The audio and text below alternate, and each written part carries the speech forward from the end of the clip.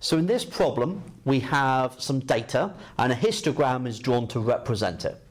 The 9 to 15 interval is represented by a bar of width 3 centimetres and height 10 centimetres. Find the width and height of the 0 to 5 interval. Okay, so let's draw a bar okay, to represent the 9 to 15 interval.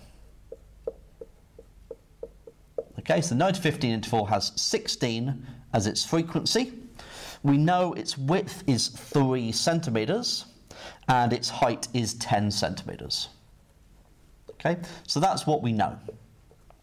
And what we need is we need to know the width and height of this other bar for the 0 to 5 interval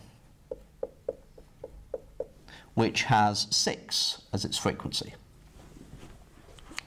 Okay, so we should be able to work out the area that represents one person. That's what I want from this block here.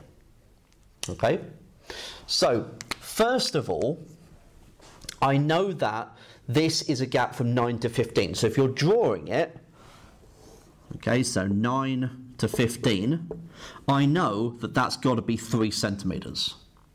Okay?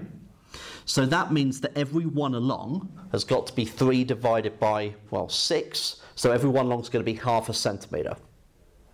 So each one along is going to be half a centimetre.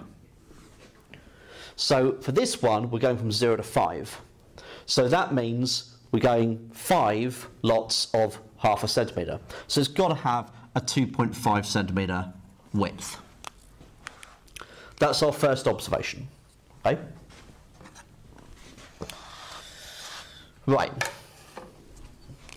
So the area that I've got here would be 3 times 10. So 3 centimetres times 10 centimetres.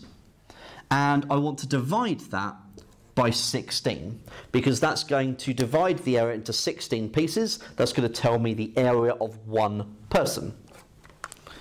So 3 times 10 divided by 16 and we get 15 over 8 so 1.875 1.875 so that would be uh, centimeters squared per person Okay, I'm assuming that each of these is representing a person. Okay, it doesn't have to be. Um, uh, could be something else, but I'm just going to say it's a person because there's no context with this problem. So we've got 1.875 centimeters squared per person. Okay, so then I know that the area of my bar here has got to be six lots of 1.875. Okay, that's got to be the area of that block because I've got six people and I know per person it's got to have that same area.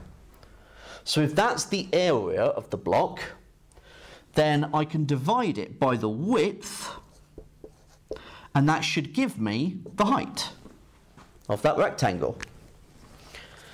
So six lots of the 1.875 and then divide by 2.5 and we get 4.5. And so that's telling me that the height of my bar has to be 4.5 centimetres. Okay, so I now have the width and height of the 0 to 5 interval.